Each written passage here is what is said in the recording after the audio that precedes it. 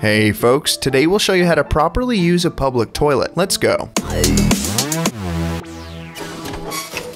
Rule number one, the stalls.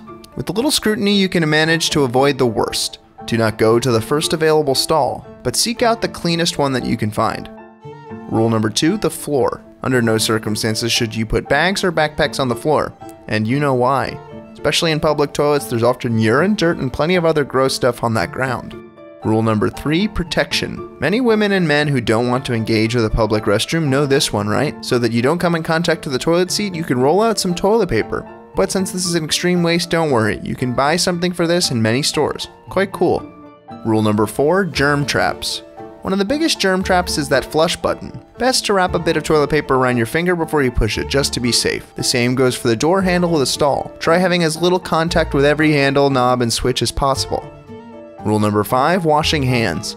Even at home, you might forget this one, but after using the toilet in a public restroom, you must wash your hands. This way, you get rid of most germs and bacteria by washing your hands for 20 seconds under water that's 60 degrees Celsius at least.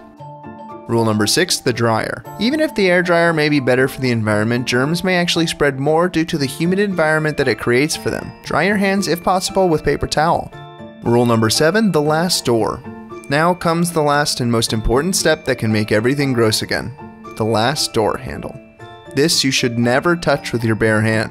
Best to keep your paper towel with which you dried your hands. Then you can dispose of the paper somewhere outside the toilet and you have left the public restroom unscathed. Okay, folks, well, I hope these public bathroom tips are helpful. If you like this one, why not check out another one right here? Until next time, bye.